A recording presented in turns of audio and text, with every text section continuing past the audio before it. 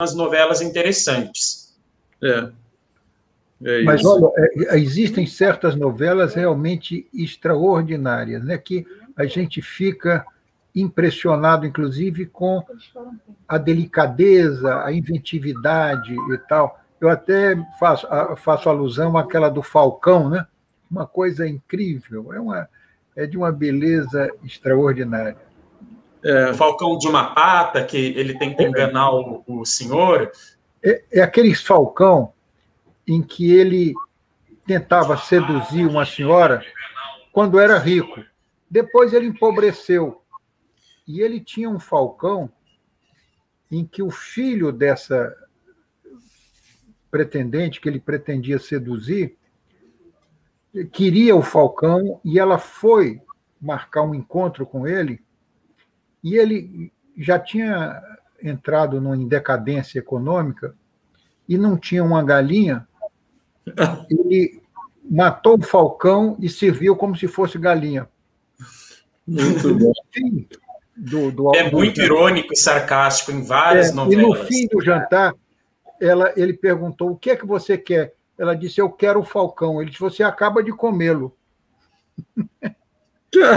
ela queria o falcão para dar para o filho. Então ela ficou muito emocionada com a história, porque ele, na pobreza, não tinha recursos para recebê-la, matou o falcão que ela pretendia para dar para o filho. Então, é, uma, é um conto de uma, de, uma, de uma engenhosidade extraordinária. Depois é isso muito bom, várias novelas, você se diverte, porque não cansa, passa de uma para outra, né? Isso é uma, uma dinâmica muito né? interessante, né? né? São novelas é. independentes. E ele faz uma crítica da sociedade da época dele tão elegante, né, tão sutil, até se desculpa no final do livro, né? Falando, olha, se eu se eu fugir alguma regra, você que é responsável pelo que você lê, não pelo que eu escrevo. Ele assume até uma postura de narratário, né? Ele, ah, eu estou contando aqui o que me contaram. Isso aqui não são histórias que eu inventei. É, é interessante que o La Fontaine eh, bebeu muito no, no Boccaccio, né? Ah, eu não sabia, não. Interessante. É, Para as fábulas. Ah, interessante isso. É, é porque é uma literatura forte. Você você é de família italiana, né, o Torresano? Esse Torresano ser do Vêneto, né? Esse nome é do Vêneto? Exatamente. É, do, é. é de uma cidade perto de Pádua, chamada Carmignano de Brenta. Vem a família da minha mãe, né? Sei, sei. A família do meu pai tem italianos e tem brasileiros, portugueses. Vocês falam italiano em casa? Como é que é? Não, não. Tudo, não. Falamos todos em português. Já, já é antigo, já, né? E, mas, enfim, é, eu gosto muito da cultura italiana, né? É, é interessante, e especialmente essa trinca, né? Os autores é, do Dante, do Boccaccio e do Petrarca, que são os, as três coroas né, da literatura italiana. Uhum. É, nós já tivemos Dante na praia, está faltando Petrarca, mas o Dante sempre pode voltar, né? Porque eu acho que ele gosta de viajar, o Dante. Então... Vai faltar o Petrarca, então. Fica, é, é... Petrarca. Quem sabe se você não fala sobre Petrarca aí? Vamos ver.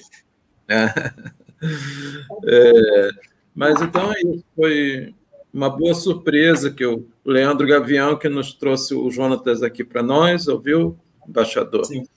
Nosso Mas olha, Leandro... grande alegria, hein? E, e, muito bom também estar falando de São Paulo, né? A ideia, inclusive, de estar com essa dimensão, não só no ecúmeno brasileiro e tal, projetando para o mundo, né? É algo é. muito interessante essa. Temos gente... pessoas de outros estados também, não que falam aqui na praia ou que assistem, viu? É. De Goiás, da Bahia. Temos, Muito legal. Temos Quando isso tudo Ceará. passar, precisamos nos encontrar todos no Leme, por favor, né? É, espero, espero que Vamos isso fazer a nossa peregrinação no Leme. Sim, vai ter isso sim. não estava ligado, está ligado agora. E vai, vai ser um, um grande retorno, o Torresano. Sim, espero estar lá no, no, no primeiro ah, pandemia aí, com todos vacinados. É, mas vai ser muito bom, sim. Você tem irmãos também? Eu tenho um irmão. Eu tenho um irmão que mora na Austrália. Ah, é? Interessante. E nada de ciências humanas, ele é engenheiro. Ah, entendi. Muito bom. Fiquei com, com, o lado das humanas aqui, somos em dois, sou eu e ele. Eu sou mais velho, ele é uns cinco anos mais novo que eu. Ah, entendi. E... Que bom, então. Seus pais estão contentes com a sua palestra sim. de hoje? Eles vão assistir? Sim, sim. A minha mãe, inclusive, dá aula de português, literatura. Ah, é, ela se animou aí com o tema. Quem sabe tá se ela pode falar também? Chame ela para falar, dar uma palestra para nós sobre um tema que ela queira. Ela está assistindo, ó, mãe, fica o convite aí do professor Frederico. A gente tá, vai selecionar um tema aí. Qual é o nome dela? Fernanda. Ah, professora Fernanda, prazer. Então, a senhora é Fernanda Torresan, né? Sim. Lá do Vêneto, Vêneto. O Vêneto é Sim. é maravilhoso, eu adoro aquela região também. Sim, eu não é... conheço, não, eu só fui para Veneza, mas o Vêneto eu não, não conheci, passei só de trem quando eu estive lá. Aquela região lá, é. Mas Verona é muito bonito, né? Muito bonito. E os vinhos são maravilhosos do Vêneto. Ah, essa é uma, uma viagem à parte lá, né? Não só do é, Vêneto, de toda a Itália, cada, é, cada região tem um é, vinho especial, né? E eu ia dizer, é, então, a sua mãe pode vir, a senhora Fernanda, venha então dar uma palestra para nós, escolha um autor que a senhora goste, pode ser brasileiro também, não é? é pode ser um Petrarca. Ah, quem dera, ótimo, também, né? É, bom, você me chama de Frederico, Jonas, todo mundo me chama de Frederico, tá? Não é professor, não. Tá, tá bom, Frederico. Gavião é um ótimo colaborador aqui para nós. Sim. Vamos começar agora, né? Pois não. Vamos começar? Muito bom dia, todos os filosofistas no Brasil, espalhados pelo mundo, na África, todos. Nós hoje já somos uma comunidade de mais de 6 mil uh, participantes dessa filosofia na praia. E eu queria hoje agradecer ao nosso reitor, Carlos Federico, e a Jonas Torresan, a escolha desse tema. É um tema tão interessante e que de tanta importância e de tanta atualidade. A peste, inclusive a peste negra, segundo Bárbara Tuchman, diz que foi o começo da modernidade. Porque com a peste negra, a crise foi tão grande que provocou uma reação, inclusive, do ponto de vista do conhecimento. Houve, inclusive, uma reação literária, por exemplo, as obras que nasceram literária, como o Decameron, que nasceu na peste. E é interessante essa dimensão do, do humano, é inclusive o contraste entre a Divina Comédia de Dante e o Decameron, que é uma obra profana. Ademais, durante a peste houve uma grande reação em prol do conhecimento. Carlos IV, imperador do Sacro Império Romano, em 1348, criou a Universidade de Praga e mais cinco outras instituições universitárias. E na Inglaterra, em Cambridge, foram criados mais três faculdades, justamente como reação à peste. É algo extraordinário e eu estou muito contente. Nós temos uma grande aventura aqui, que nós fazemos um mergulho no começo da modernidade, com um autor da importância do Boccaccio. Eu agradeço mais uma vez ao Carlos Federico e ao Jonas Torresan, por nos trazer essa visão iluminada da história. Muito obrigado. Então, bom dia a todos. É um prazer estarmos aqui reunidos novamente para esta nova aventura, como disse o embaixador, e para ouvir, então, nosso professor Jonatas Torrezan. E, o Jonatas tem o seu doutorado na USP em Relações Internacionais, assim como é, o mestrado também, portanto, em Relações Internacionais, pela UERJ, aqui no Rio de Janeiro. Morou um tempo no Rio de Janeiro, ele nos fala de São Paulo. E seu bacharelado é, também pela Unesp, é, em comunicação social.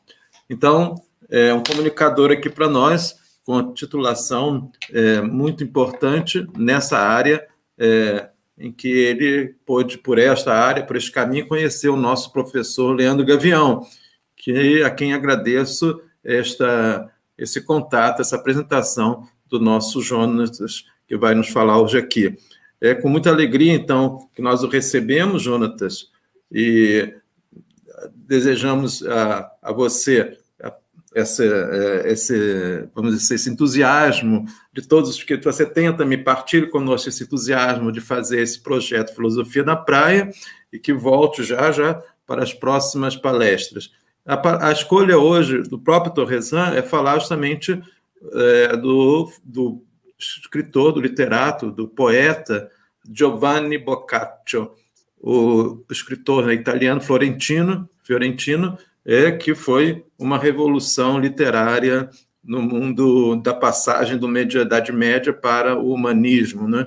Então vamos ter uma experiência muito interessante, experiência que de alguma maneira vai se prolongar durante todo esse mês de julho, porque a próxima palestra também será sobre um autor italiano. Então, é, agradeço muito ao nosso Jonas. Vamos ouvir as suas considerações sobre o Decameron no contexto da peste negra na Europa medieval e início da modernidade. Muito obrigado, Jonatas.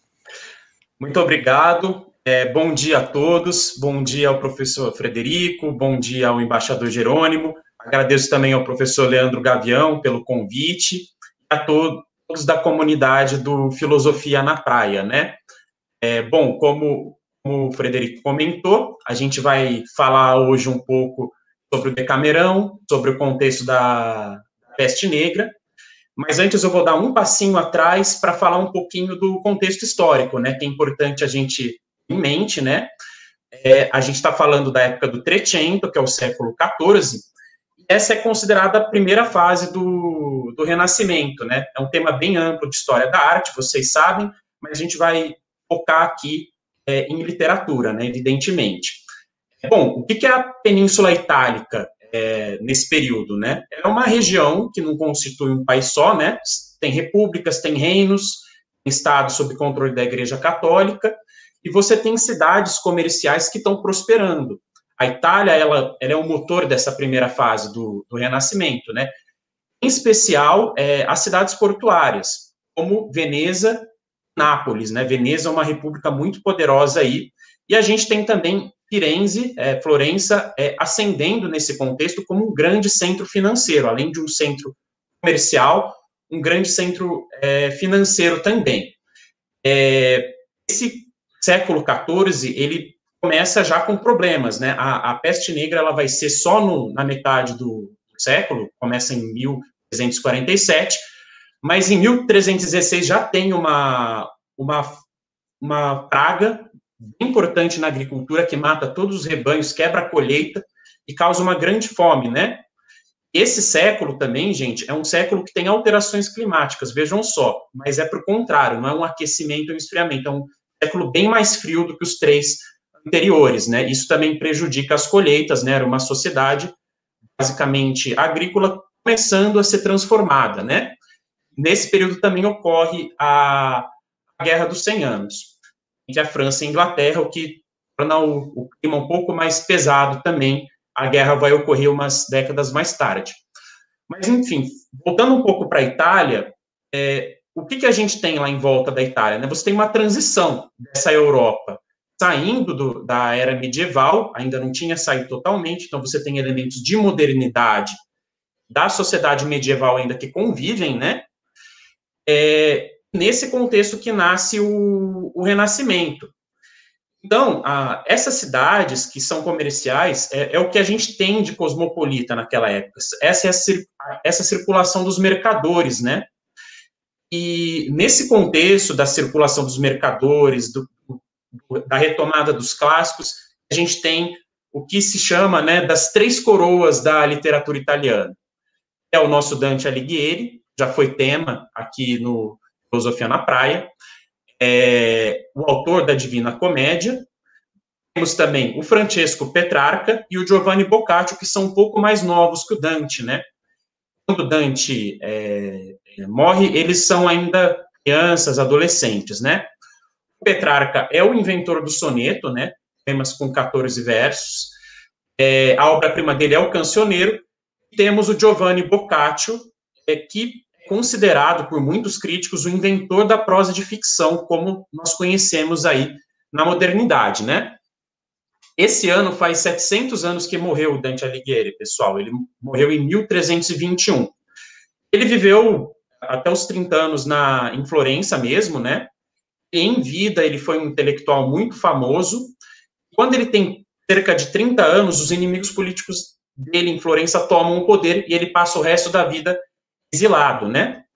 É, a Divina Comédia, eu não vou me alongar muito na Divina Comédia porque não é o tema, mas é a importância dela é que é escrita em toscano vulgar, diferente das obras da época que eram escritas em latim, né? Que essa obra pudesse é, ser lida publicamente, né? É, a Divina Comédia ela já foi um grande sucesso nessa época, então é importante a gente falar um pouco do Dante, porque ele prepara o terreno para o Petrarca e para o Boccaccio mais tarde. E o Boccaccio foi um grande divulgador do trabalho do Dante, e ele trabalhou, né, depois a gente vai entrar um pouco mais em detalhes na vida dele, ele trabalhou na área de cultura do estado de Florença, né, ele que adicionou Divina ao título, o título original era só comédia, mas o Boccaccio, nas leituras públicas que ele fazia, como divulgador da, da obra de Dante, ele modificou esse título após a morte do Dante, né? O, o Petrarca, ele, é o, ele foi o que mais viajou fora da Península Itálica, né? Ele nasce em 1304, é, morre um pouco antes do, do, do Boccaccio, em 1374, o Boccaccio morre em 1375, e ele se dividiu entre a Toscana, Avignon, que era a sede da Cúria romana na época, e também trabalhou como embaixador. Sei que temos vários embaixadores aqui, inclusive o embaixador Jerônimo, ele também trabalhou como embaixador, o Petrarca. Ele é considerado pai do humanismo, né?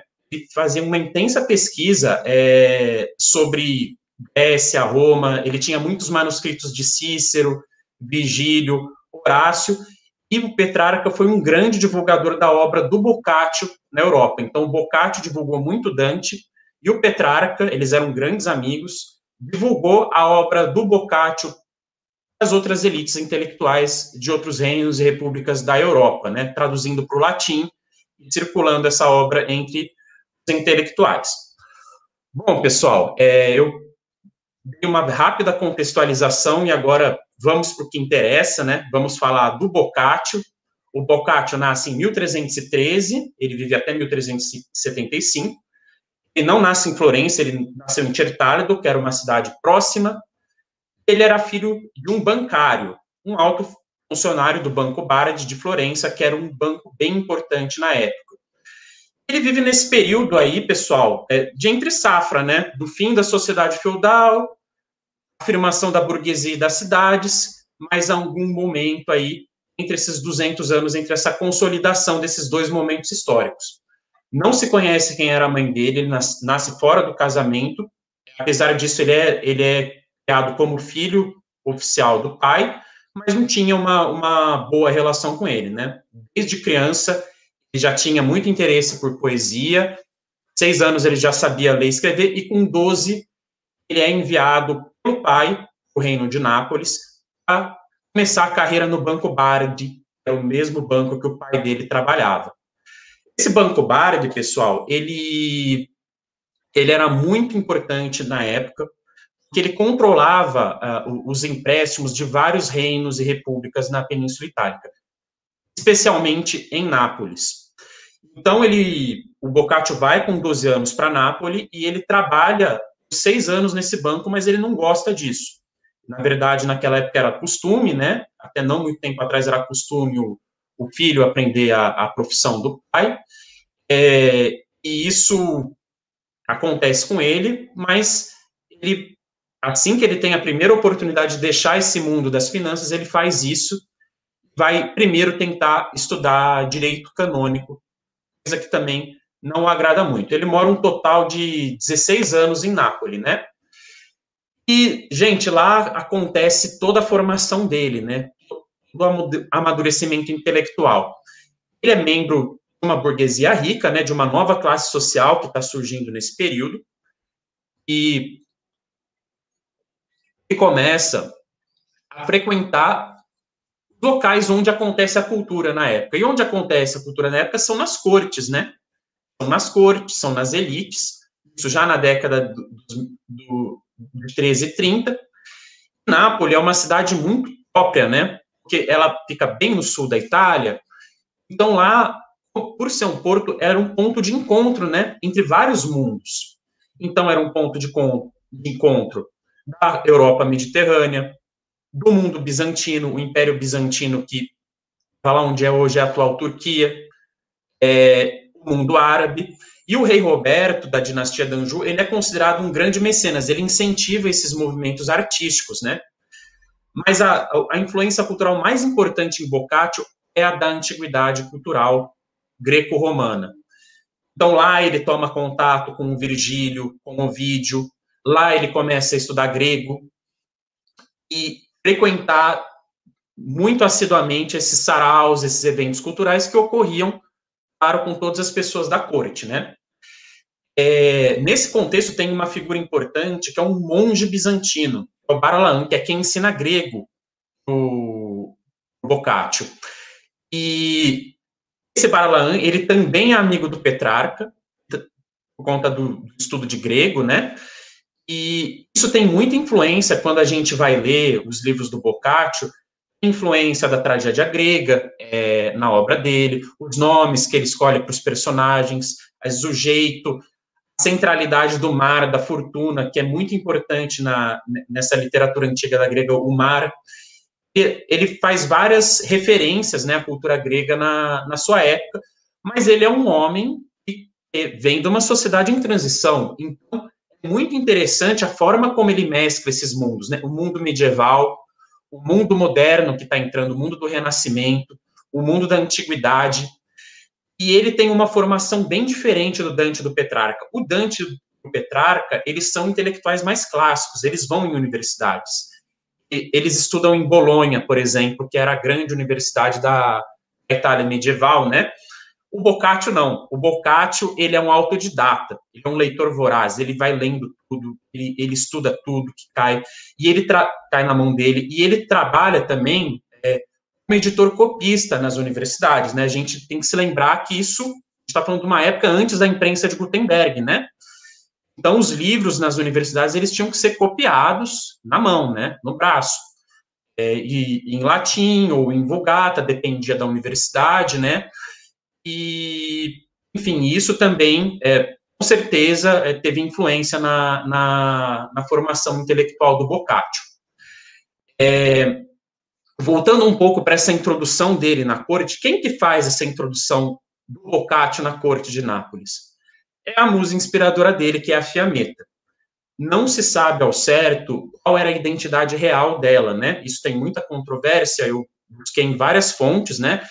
A, a, teoria mais assim se chamava Maria de Aquino, e sabia que independente de ser essa Maria de Aquino ou não, sabia-se que ela era uma mulher nobre, casada, e eles se conhecem na igreja de São Lourenço, em Nápoles, quando o Boccaccio tinha 18 anos. O próprio Boccaccio, ele descreve esse encontro é, na obra Filocolo. É considerada, é, um, é o segundo livro dele, né, e é considerada a primeira obra literária escrita em prosa nessa época do Renascimento. é considerado o inventor dessa prosa na novela, né? E esse encontro é descrito numa representação do próprio autor, que é o Caleone, da Fiametta, que tem esse nome, é inspirado no, até no encontro do Dante com a Beatriz, que tem está no Vita Nova, no livro do Dante. É, lá em, na corte napolitana, nesse ambiente, ele publica os seus primeiros livros, né? O Filostrato, de 1335, o Filocolo, é onde tem esse encontro com a Fiametta, e o Cátia de Diana, três anos mais tarde. Aqui, é, para fechar esse assunto das musas, é, tem uma diferença bem importante dessa musa do Boccaccio, que é a Fiametta, as musas do Petrarca e do Dante. A musa do Petrarca é a Laura e a musa do Dante é a Beatriz. O amor do Boccaccio é correspondido. Ele chega a ter uma relação com a Fiametta, ainda que em adultério, né? E a Laura e a Beatriz não chegam a ter relações com o Dante. Então você vê que a forma de abordagem do amor é, desses três grandes autores da, da, literatura italiana, é muito diferente. No Petrarca e no Dante, ele é bem mais platônico, assim, para usar um, um, termo grego, né? No Boccaccio, ele é bem pé no chão e bem, uh, uh, é, bem naturalizado. É bem, nesse sentido, o Boccaccio é bem moderno. O amor é muito naturalizado, ele é pouco platônico, né? E, bom, ele publica esses, essas três obras lá em Nápoles, né, no começo da carreira dele. E aí, em 1340, acontece uma, um, um, um fator importante. Esse banco Bardi, ele vai à falência, onde o pai dele trabalhava e onde ele tinha trabalhado. O pai do, do Boccaccio empobrece bastante, né? E, e o pai do Boccaccio fala, olha, tá na hora de você voltar para Florença, porque eu não tenho mais como te manter aí. Então ele chateado, sem a Fiametta, que era sua musa, né? Que eles, a Fiametta, por iniciativa própria, tinha terminado o relacionamento com ele.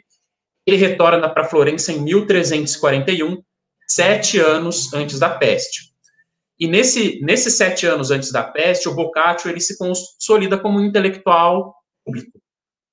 É, ele passa a escrever em toscano, como, como Dante, né, na Vulgata Toscana, assina trabalhos em toscano, né, como a comédia dele Ninfe Fiorentini e a Elégia de Madonna Fiametta. Fiametta é uma personagem bem recorrente nos livros dele, né? E ele trabalha para o estado de Florença como um divulgador da obra de Dante, inclusive dando o título Divina Comédia, né? Esse período também é um período que ele viaja bastante e o foco das viagens dele em especial o encontro com latinistas e com humanistas, né? Inclusive com os seus grandes amigos, o Petrarca e o monge Balano. A última viagem que ele faz antes da peste é justamente para Nápoles. Lá ele, é, isso em 1347, e lá ele, enfim, tem uma viagem ruim, né? E não encontra a Fiametta, não sei a razão, e também não é bem recebido, é, tão bem, bem recebido quanto quando ele tinha vivido lá, né? Enfim, é, agora, sem pormenores, vamos entrar na, na peste, né? Bom, em função das condições de transporte, as viagens eram mais longas naquele período, e o Boccaccio retorna de Nápoles em 1348, no ano seguinte. Eu não sei se ele foi no fim do ano ou não, quanto tempo ele ficou exatamente, mas ele retorna para Nápoles é, exatamente no segundo ano da peste. A peste começa em 1347. Florença está desabando. Desabando, as pessoas estão morrendo. É, eu não sei quantos de vocês tiveram a oportunidade de, de pesquisar um pouco sobre a, a, peste negra ou a peste bubônica, é a mesma coisa, mas é, o, o, essa pandemia que ocorre na Europa ela é muito, muito mais terrível é, do que a pandemia atual que nós estamos, né? Estimativas indicam que entre 30% a 50% da população morre. Em três dias, as pessoas que pegavam essa peste é, já estavam mortas, causava bulbos né, nas axilas e virilhas. Se estima que 30 milhões de pessoas morreram, né? E a, a, a origem da, da peste negra foi um navio de comerciantes de Gênova chegaram vindos da Crimeia, e atual Rússia, Ucrânia, uma área disputada, e se cria, né, essa peste veio do Oriente, da Mongólia, de comerciantes mongóis ou chineses, e o tempo todo, esses séculos todos, foi, foi essa convenção. Agora, a fortuna, né, ou por Deus, depende do, de que lado do renascimento você está. É, essa semana saiu um estudo novo sobre isso, exatamente sobre a peste negra. E é, é, a Universidade de Kiel, na Alemanha, indicou paciente zero da peste negra, ele não vivia na Ásia. Ele vivia na Letônia e era muito mais antigo do que se previa, era 5 mil anos atrás. É, então, enfim, a, a peste havia vindo da, do Oriente, mas aparentemente não veio, né? Esse estudo foi publicado essa semana. Depois dei um Google aí para conferir. Eu achei muito interessante ter saído justo nessa semana que a gente vai, a gente está discutindo esse assunto, né? E estava conversando com o embaixador Jerônimo e com o professor Frederico antes é, sobre esse ponto de inflexão impressionante que essa peste causa, né? É, já estava ocorrendo uma transição histórica para renascimento, para modernidade, mas essa peste, ela funciona como um acelerador, né? É o que a gente ouve muitas vezes das pessoas comentando hoje em dia do coronavírus, que transições estão se acelerando. E é exatamente o que ocorre com a peste bubônica. Essa sociedade medieval já estava se desmontando, ela se desmonta ainda mais. Então, você tem um abandono generalizado de cidades e aldeias, as pessoas fugindo das cidades. Isso, inclusive, está no Decameron, na, na parte de abertura, que a gente vai explorar um pouco mais à frente. Para vocês terem ideia gente, da gravidade que foi essa peste, a população é, da Europa só foi recuperada 200 anos depois, após o descobrimento do Brasil. É, como na pandemia do coronavírus, as cidades europeias elas foram atingidas de maneira muito desigual, né? Prensa, por exemplo, que é o nosso, o nosso foco aqui, viviam 80 mil pessoas na época, 50 mil morreram. Mas em outras cidades da, da Itália, isso não ocorreu na mesma gravidade. Por exemplo, Milão foi um dos exemplos que eu li de cidades que não tiveram tantas mortes. Paris tinha relatos já mais altos, de 800 mortos por dia. É, e aí, é, qual que é a consequência social disso, além do desmonte desse tecido social? É uma revolta, evidentemente, né? Quem é o culpado por essa peste? Quem vai ser responsabilizado, né? A gente está numa transição da modernidade, da, da, da, da Idade Média para a modernidade. Então, quem está no poder, uma monarquia, uma república, de características de plutocracia, a igreja, esses culpados vão ser buscados, né? A praga foi uma, um castigo de Deus? contra a gente? Ou a praga foi uma ação do diabo? Teve gente que falou que a praga foi porque passou um cometa raro, em 1345, uma explicação mais fora né, do cristianismo. Também tem a consequência social, de tensão social que isso causa. Por exemplo, é, parte da população, na França, na Alemanha, na Espanha, responsabilizou os judeus pela trazerem a peste.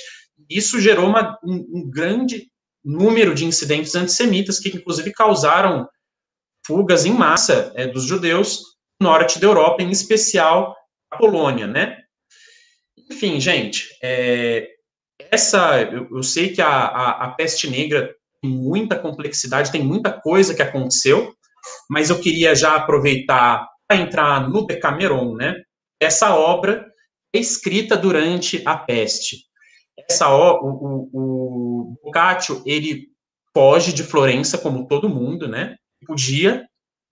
É, ele foge de Florença, vai para as montanhas de Fiesole, que são montanhas que tem lá é, em volta da cidade, e ele escreve o Decameron ao longo de três, quatro anos numa residência rural. Esse nome é um nome exótico, né, para gente, e tem origem no grego. Deca é o número 10, né? E Emerais são os dias. Mas não é só isso. Também é uma referência ao Heptameron, é uma obra é, do Santo Ambrósio, que conta a criação do mundo em sete dias. Então, ele faz um jogo de palavras aí, né? E aqui eu queria falar um pouco dessa questão da, da, da arquitetura, né? Do, do número.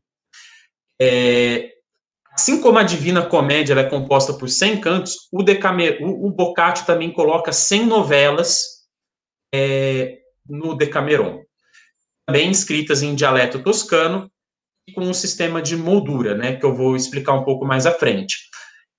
É uma obra que fala muito dos mercadores, que fala muito da igreja, fala muito de reis, rainhas, de, de malandros que viviam nas cidades.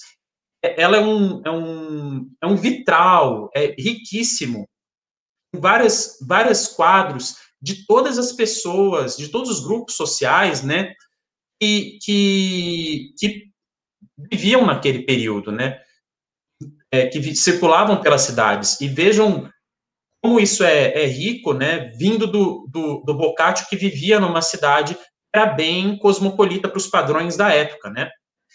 Então, é, entrando já na história, o que acontece? A história se passa em Florença, durante a peste negra de 1348, dez jovens se encontram na igreja de Santa Maria Novella. É esta igreja aqui, ó. Aqui e aqui vejam as montanhas cercam Florença, né? Eles se encontram nessa igreja, começa com o foco de sete moças, primeiro, elas conversando, e elas falando, gente, é, essa cidade aqui tá acabando, todo mundo da minha família morreu, todo mundo morrendo, a gente precisa fugir, mas como? a gente vai fugir. Nós, sete moças, vamos pegar uma estrada sozinhas? Então, casualmente, um encontro governado pela fortuna, três rapazes entram na igreja, e dois ou três deles são namorados das moças. É, e eles decidem, os dez, irem para uma vila, né, uma mansão, nas, na, nas montanhas de Fesole, que foi, inclusive, onde o Boccaccio escreveu é, o Decameron. A ideia lá é a seguinte: é passar alguns dias lá, é, se divertindo. Sexta e sábado é dia de oração, mas a principal atividade é contar as novelas, contar as histórias. A cada dia, eleito um rei ou uma rainha da, da, do dia, né? E esse rei e rainha tem a prerrogativa de indicar é, qual vai ser o tema tratado naquele dia e todas as histórias têm que seguir aquela coerência de tratar daquele tema, né? Eles ficam por 14 dias lá, quarentena de 14 dias, como para quem pega coronavírus. E 10 dias são dedicados às narrativas, já que duas sextas, dois sábados são dedicados às orações, né? Então, o Boccaccio escreve esse livro uma sociedade que está se desintegrando, isolado numa residência rural, ele vai tentar, como o Santo Ambrósio tenta recriar, descrever a recriação do mundo em sete dias, o Boccaccio ele tenta recriar a sociedade na qual ele vive por meio das histórias, por meio da narrativa e por meio de narrando personagens épicos que, que viveram, dando um tom épico para personagens comuns, né? É, mas, além dessa da história em si, tem, tem algum, algumas linhas de raciocínio do, do, no Decameron, do Boccaccio, que são, indicam rupturas, né? Indicam uma sociedade que está tá mudando. A abertura do livro, ela, ela, o Boccaccio descreve a peste bubônica. Então, se vocês tiverem curiosidade, não puderem ler o livro todas, todas as 550 páginas, as 100 histórias, logo vocês podem ler esse pequeno trecho no começo. E ele narra esse destruidor, esse poder destruidor da peste, como atinge a todos os grupos sociais. Ele fala: ninguém está livre da peste, todos estão sendo atingidos de forma igual. Ele faz isso, a forma como ele faz isso é muito importante, porque ele faz isso com objetividade e racionalidade.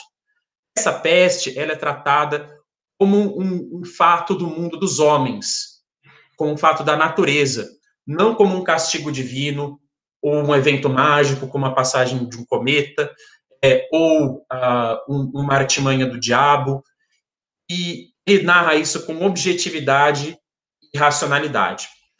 É, isso não significa que ele tem um, é um livro no qual ele não fala do divino e do sagrado. São inúmeras as referências, inclusive críticas e sarcásticas com relação à igreja, né? Mas ele não atribui ao divino e ao sagrado uma dimensão decisiva nessa peste.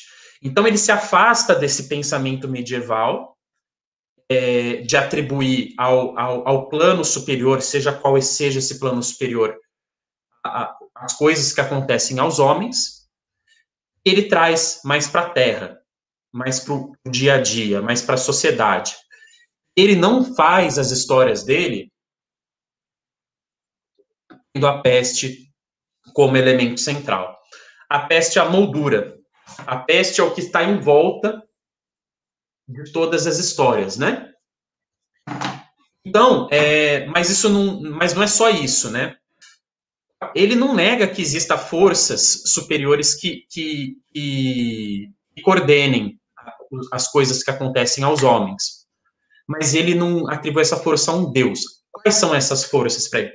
São o amor e são a fortuna. E, ele coloca essas forças que governam é, o, a, a, o que ocorre com, a, com, com, as personagens das 100 novelas que ele conta, é, rompendo um pouco com essa tradição medieval, né? O amor, por exemplo. O amor aqui, é, ele é um amor bem resolvido. Ele é um amor efêmero, carnal, humano. Ele não é um amor platônico de um homem para uma mulher, muito menos um amor a uma divindade. Ele é um amor entre um homem e uma mulher nu e cru.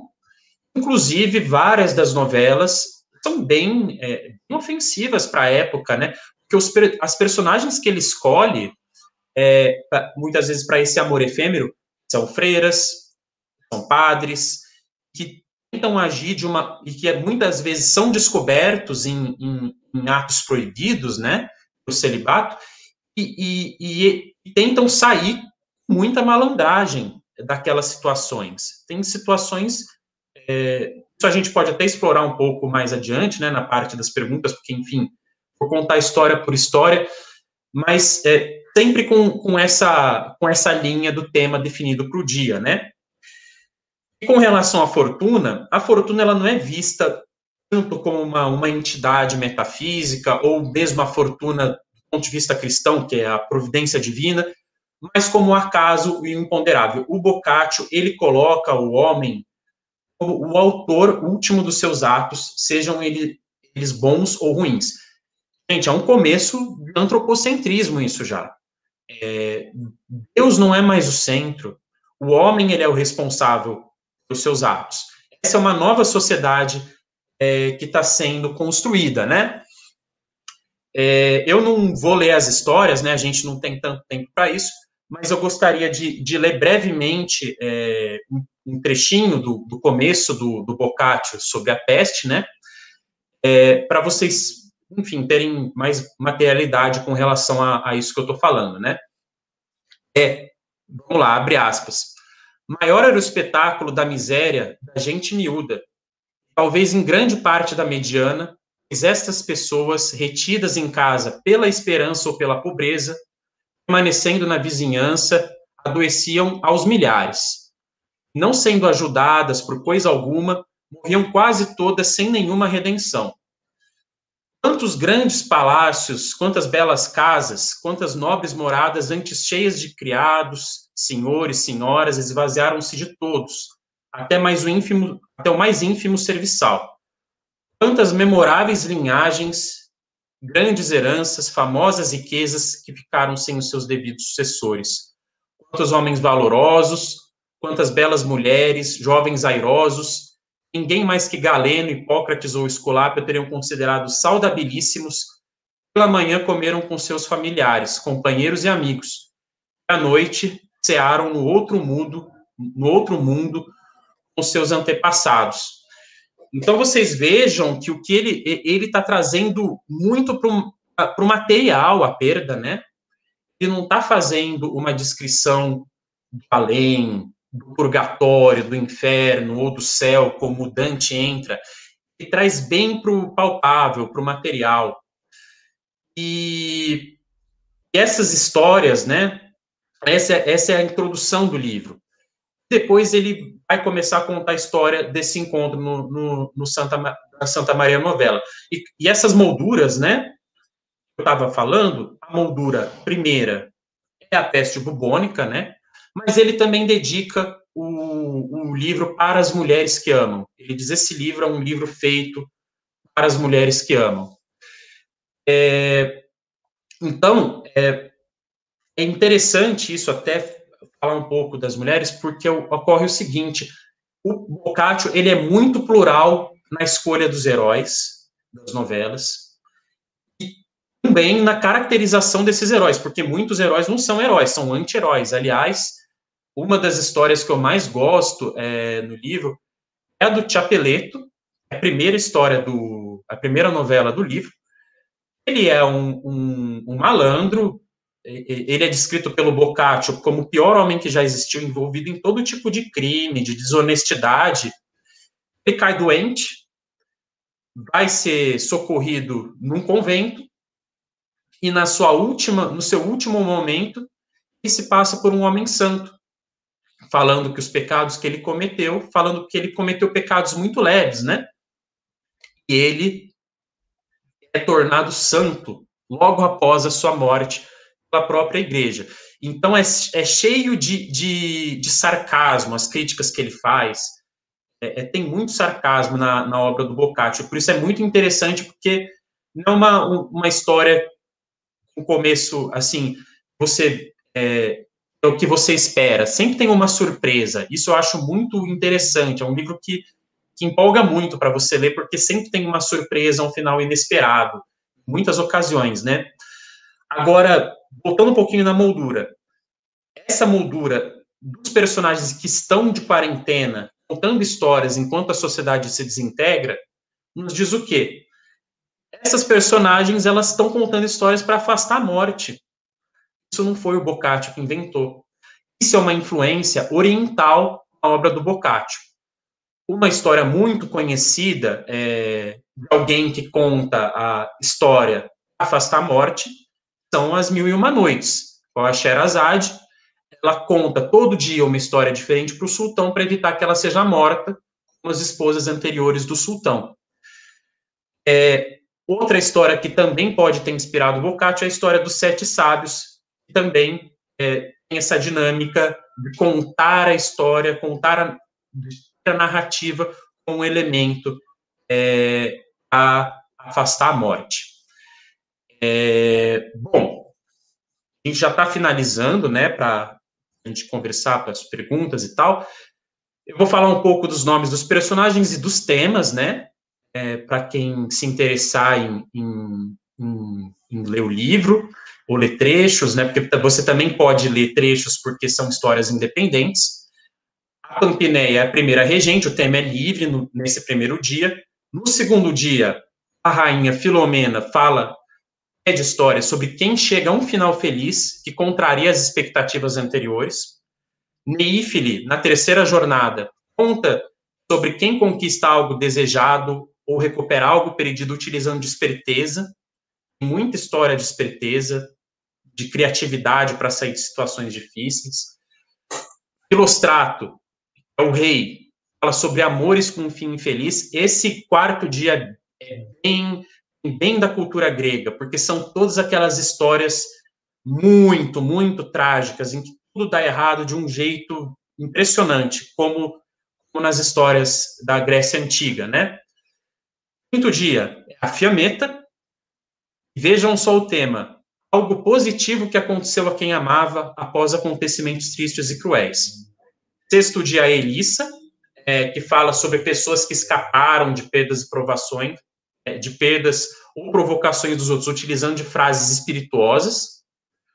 O sétimo dia, o Dioneu, o rei Dioneu, fala sobre as mulheres que enganam os maridos, ou porque amam seus amantes, ou para se livrarem de uma punição dos seus maridos. O oitavo dia também tem engano, a rainha Laureta pede o tema do engano entre casais, mas também entre amigos. Está chegando no final, Emília. Trata sobre quem fala de um assunto, quem dirige um assunto da maneira que quer, então é um, fala muito sobre diálogos espirituosos, né, sempre com esses personagens da Idade Média. Por fim, o Pânfilo, é o rei que fecha. O tema é trata de quem foi generoso com alguém, sendo um amor, uma paixão, uma, ou uma outra pessoa. É, pessoal, já estou terminando. É, só umas últimas considerações né, do, do pós-livro. É, quando o Boccaccio ele vai fechar o livro, ele se coloca numa posição de narratário. Basicamente, o que ele diz é o seguinte: olha, eu não inventei nada disso aí que vocês leram. Eu apenas reproduzi histórias que eu li, ouvi, que eu vi por aí. E isso tem, enfim, vários objetivos, né? Um deles, é, principal, é suavizar essas críticas e perseguições que ele poderia sofrer da igreja, né? É, especialmente porque ele coloca padres, freiras em, em, situações de sensualidade e pecado. Isso também que a, que a ironia, a sutileza, o sarcasmo são muito presentes nesse livro que as, em muitas ocasiões ele não pode falar tudo que ele. Você percebe que ele está falando lá nas entrelinhas, né? Não só isso. Os contadores de história, é, as sete rainhas e os três reis, eles cumprem as obrigações religiosas. Então, o que o Boccaccio está falando é, mas eles são boas pessoas. Eles são o famoso cidadão de bem, né? Eles são pessoas corretas. Mas Aqui na narrativa, eles têm permissividade para fazer o que eles quiserem, né? É, uma curiosidade é que os livros, né, como eu falei, eles eram copiados. E a, a cidade de Veneza era bem mais liberal que as outras da época, né? É, então, muitos das cópias do Decameron e de outras obras que eram mais polêmicas tinha que colocar, né? Já tinha naquela época o costume de colocar a cidade da, da editora. Tudo era Veneza. Todos de Decameron dessa época eram de Veneza, né? Mas a gente sabe que muito provavelmente eles eram copiados às escondidas, em, provavelmente em Florença mesmo.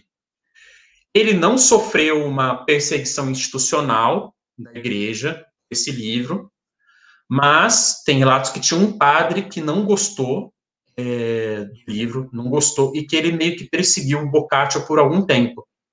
Quando o Boccaccio saía na rua, esse, esse padre ia atrás dele falando que ele ia para o inferno, porque ele tinha escrevido o Decameron. O Boccaccio ficava muito, muito desgostoso com isso, com esse incômodo, né? É, por fim, voltando um pouco no Petrarca, é, ele que é o seja talvez o primeiro grande responsável pelo Boccaccio é, ter alcançado a fama que ele alcançou, porque ele traduz as obras do, do Boccaccio do Toscano para o latim. É, e, e com, conforme ele vai viajando, ele vai é, distribuindo essas obras, né?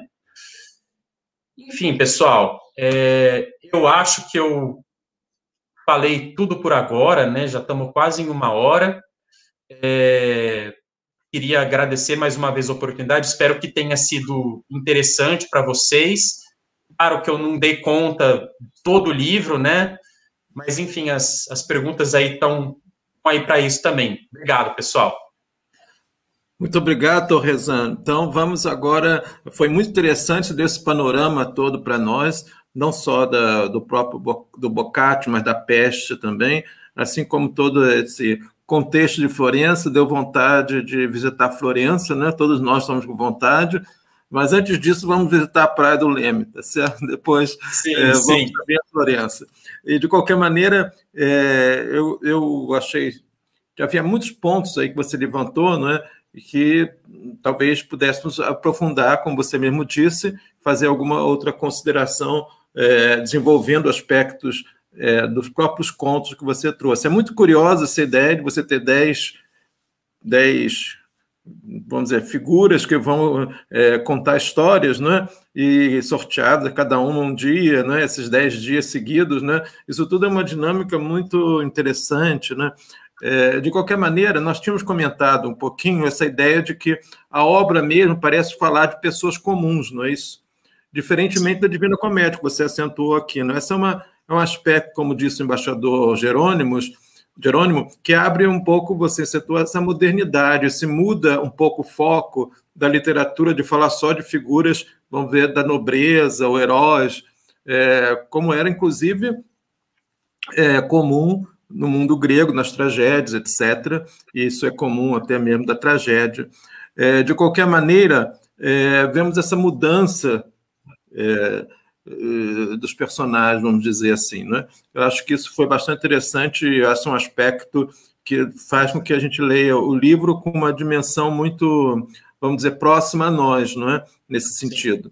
De qualquer maneira, é, eu também achei que havia, como você fez relação com o mundo moderno, né, contemporâneo, nossa questão da peste aqui, hoje em dia, que nós estamos vendo que não é a peste propriamente dita, mas é a Covid, essa analogia é muito interessante, mas também nesse aspecto literário, eu estava comentando com você, parece que existe também um parecido ou uma analogia com a questão contemporânea, assim, vamos dizer, quando surge o teatro moderno, lá com Ibsen, nós vemos também essa mudança, né, de passagem de grandes personagens heróicos para pessoas comuns. Então, parece que isso é uma dinâmica de uma atualização frequente da literatura, né? ou pelo menos nesses dois momentos. Né? Então, eu gostaria que você comentasse um pouquinho isso. Você vê que esse fator, vamos dizer, é, que você vê no Boccaccio, é, de fato, de mudança de personagens, das figuras que vão ser objeto da descrição da literatura, é, passando, vamos dizer, para o comum popular, isso é um aspecto, vamos dizer, de inovação, e no caso de modernidade, ali, no caso humanismo, etc. Sim, sem dúvida. É, é interessante porque o Boccaccio, ele coloca o, os dois pés no chão, né? Primeiro, o pé da finalidade da, da narrativa. Lembremos que na, na, nas narrativas da Idade Média, as, as, que eram heróicas, né? Elas tinham o objetivo, não só falavam do, dos reis, dos nobres, como você falou muito bem, mas falavam de um padrão moral elevado que você deveria atingir. Então, era esse o objetivo da narrativa. Então, por exemplo, era você ir lá e vencer uma guerra. É um grande acontecimento. Um nobre cheio de coragem e confiando no Deus cristão, vai lá e vence uma guerra. Aqui você tem, primeiro, que essa questão da ética, da moral, da finalidade, ela já é trazida do jeito que as pessoas se comportam mesmo, com impulsividade, com cheia de contradições, é, com várias, ele não esconde as falhas morais de quem quer que seja, inclusive faz questão de apontar várias falhas morais no clero, nas pessoas que, que trabalham na igreja. E ele não deixa de falar de rei. Você vai ver lá que tem várias narrativas em que reis são, são protagonistas. Mas ele não deixa de falar das pessoas comuns. Aliás, as pessoas comuns são a maior parte. E não só é, as, as pessoas comuns, né? Mas estrangeiros também. Isso é que é interessante. Ele não coloca. Tem que se lembrar que na Idade Média o cristão ele é retratado como herói, né? Como aquele lá que vai lá é, tentar converter os povos bárbaros, levar à luz das escrituras cristãs. É, e, e ele não faz isso. Ele coloca judeus, muçulmanos, reis de outros países que não eram cristãos, como heróis, como pessoas nobres também. É, e as mulheres, né? Não podemos esquecer que ele dedica a narrativa às mulheres e que as mulheres têm um papel central em muitas das narrativas, inclusive da, da iniciativa, né? Então é, é por aí, eu acho. Olá. O nosso desembargador Ciro Dalan põe uma pergunta aí para você: a semelhança entre a peste negra e, a, e o Covid. É, você até falou de uma pesquisa que saiu nessa semana interessante também, né? mas de qualquer maneira, aí você tem a pergunta. É, olha, a primeira semelhança de cara é que o Ocidente acusou a peste de vir do Oriente, né?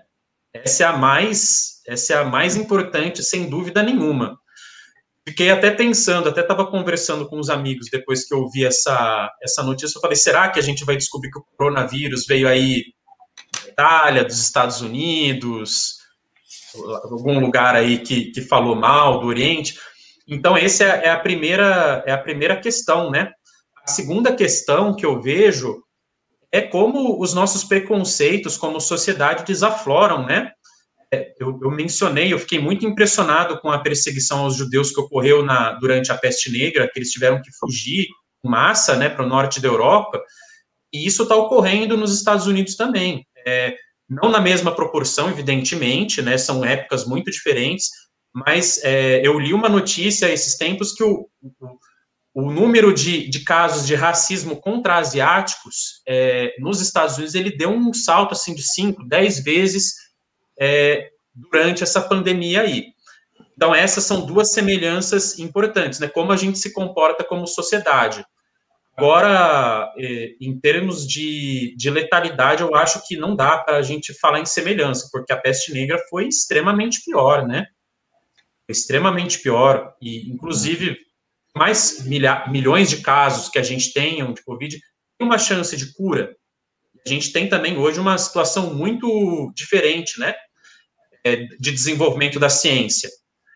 É, então, é, eu acho que as semelhanças acabam por aí. Eu acho que as semelhanças estão muito mais no nosso comportamento como sociedade, reforço dos, dos preconceitos que estão lá na nossa convivência do que qualquer outra coisa. A peste negra foi bem pior. Essa a gente quer arranjar sempre um bode expiatório, né? Exatamente. Exatamente. Tem muito, muito na literatura narra isso muito bem.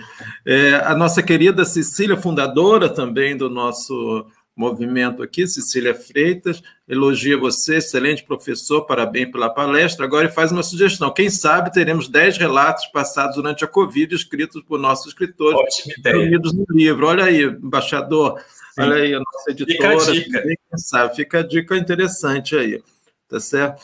É, então, eu achei bastante interessante isso tudo que você está trazendo aqui para nós, porque agora acho que todos nós vamos ficar com interesse de ler é, ou reler, quem já leu a, o Decameron, mas é, também o cinema. Né? O cinema já teve a oportunidade de, de trazer o Decameron, né? obviamente dentro da, da, da linguagem cinematográfica, e também uma obra tão extensa assim, não é possível que seja totalmente representado no cinema. Mas o Pasolini, né, o, também italiano, Pier Paolo Pasolini, fez uma, uma grande criação neste, neste âmbito de adaptação de alguns contos, vamos dizer, de alguns relatos do Decameron é, para o cinema. Então, eu creio que todos vão ver. Talvez no estilo do Pasolini, que é um grande poeta também, enfatizando alguns aspectos que o, nos anos em que o Pasolini viveu eram importantes para os comentários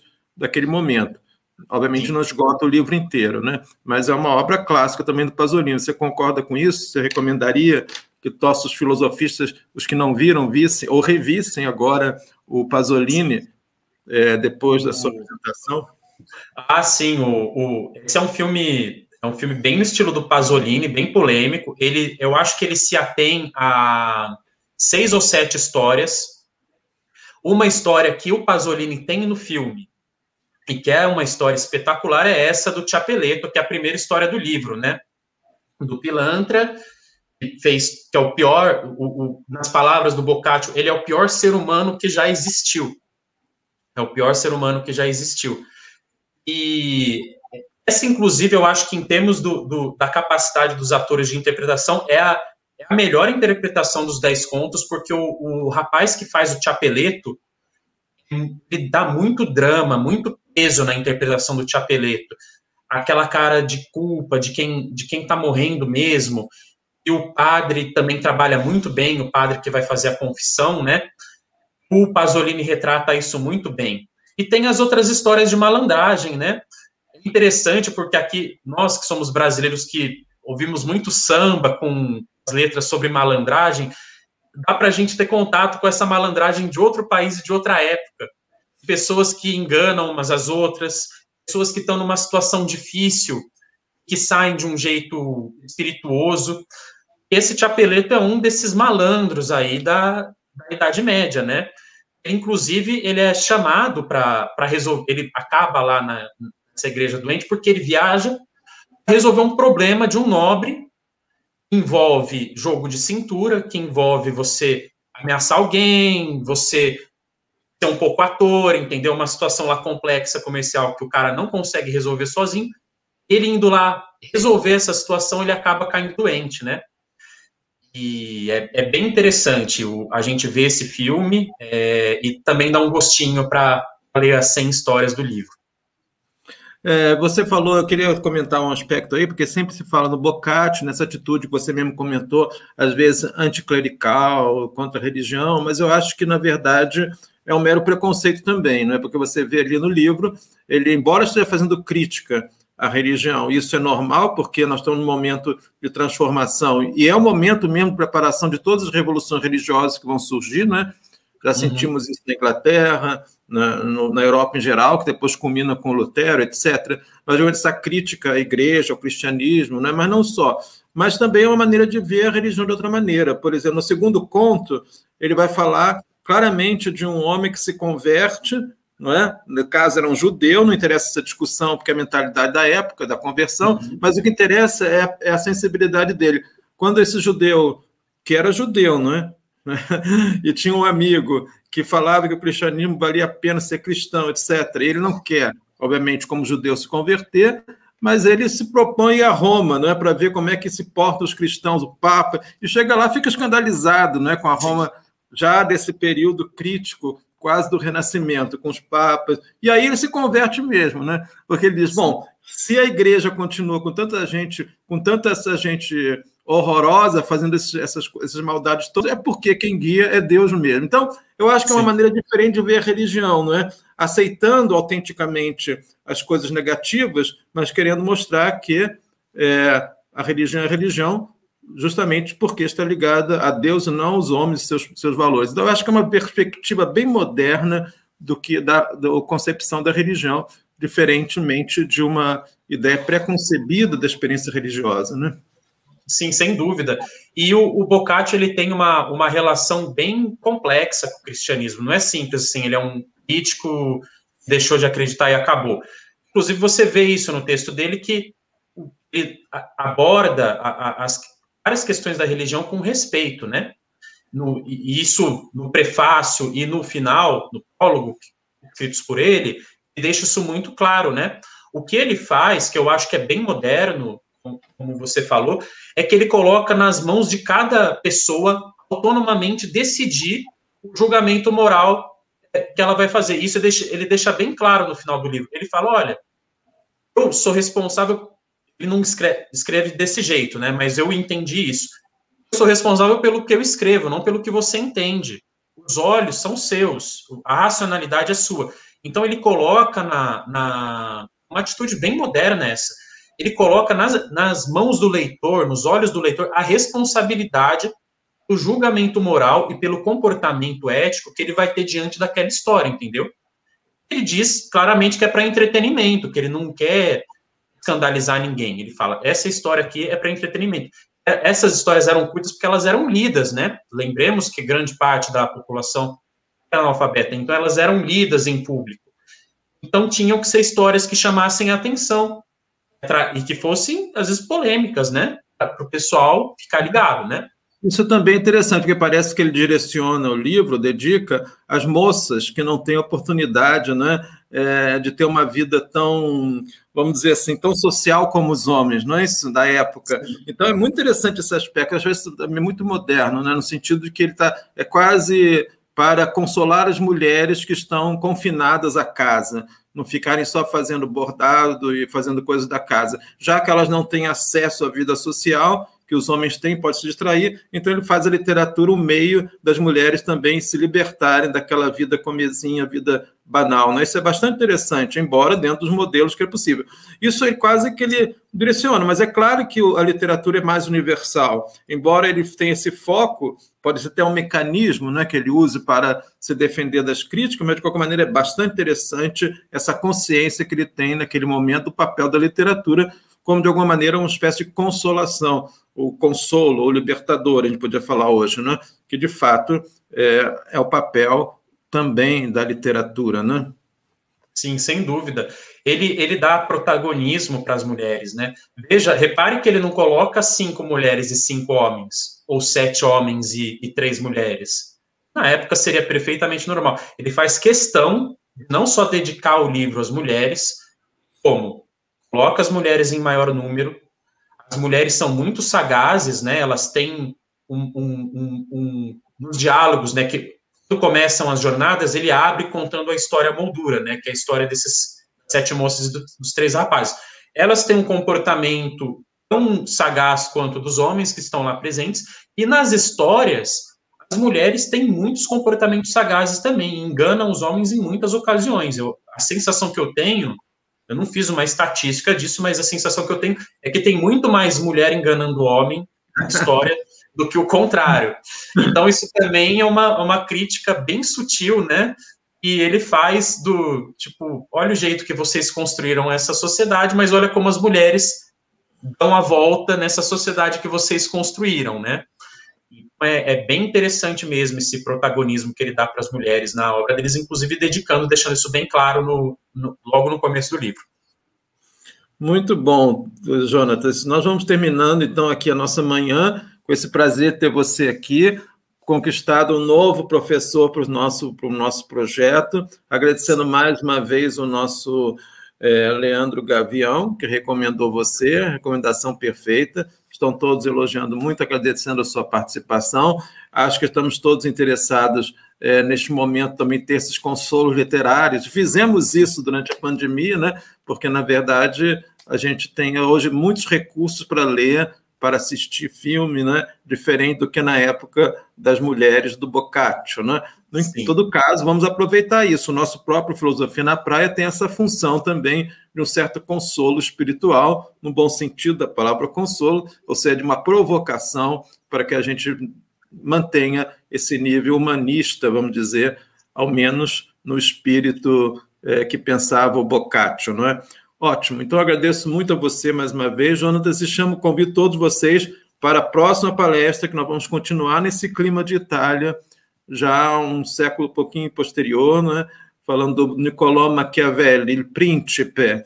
Nós teremos a presença do professor é, Carlos Henrique Cardim, embaixador Carlos Henrique, é, Carlos Henrique é, Cardim, que é professor da UNB, de, né, de ciência, ciência política, também da sua área aí, não é, Jonatas? Então, vai ser um prazer receber o embaixador Cardim, que vem nos falar aqui do príncipe. Ele mesmo recomenda que nós leiamos o príncipe ou textos relativos ao príncipe para aproveitar melhor sua palestra. É, eu acho que vai ser muito interessante também. Temos, então, esse mês dedicado à Itália e, certamente, aos pensadores que têm um papel de, e força política no desenvolvimento do pensamento político no Ocidente, né? seja o Boccaccio, seja o nosso Machiavelli. Fale, João, você quer falar uma palavrinha ainda? Não, não, eu só queria agradecer a todos mais uma vez aí, agradecer ao professor Leandro, ao professor Frederico, ao embaixador Jerônimo, a oportunidade e desejar um ótimo fim de semana a todos se divirtam com livros, filmes, com o que der para fazer nessa quarentena enquanto ela não passa. Muito obrigado. Abraço a todos, então. Obrigado, Tchau. pessoal. Tchau.